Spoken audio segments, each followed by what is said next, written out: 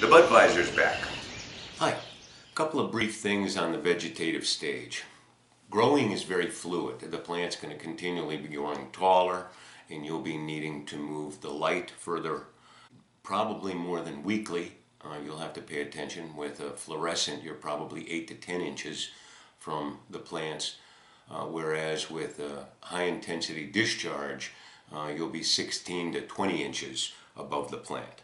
An easy way to determine whether you're far enough away or too far away is, is it hot on your hand? If it's hot on your hand, it will burn the plant. So you can use that as a guideline and keep the light as close as you can.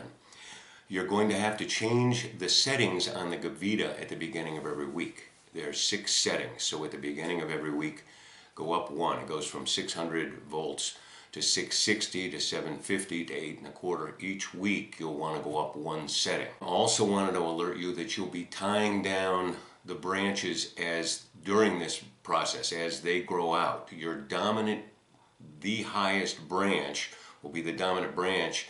The auxins will push all the growing hormones to that. So you need to pull down the highest branch and allow the others to, to rise up, to grow up, and to keep an even canopy just some thoughts. Wanted to clarify a little about foliar feeding. Um, we're using the vegan matrix, the hard and quick will be the foliar feeding you're going to be using. And you'll mix that up and put it in a spray bottle.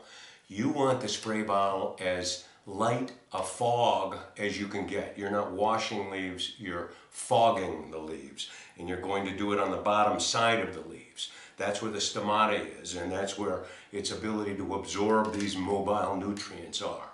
So remember, um, fog from the bottom.